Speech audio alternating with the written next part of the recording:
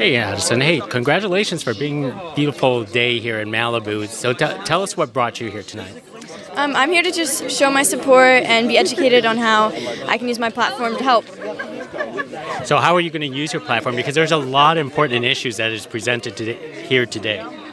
Um, just spread awareness, um, listen to everything everyone here has to say, and make sure I know I'm educated properly before I say anything on the topic.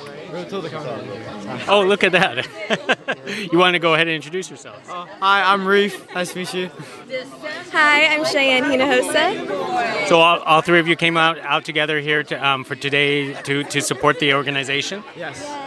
Yes. Have, have, have you seen or heard or met anyone um, that's, uh, that has touched your, you know, your strengths so far?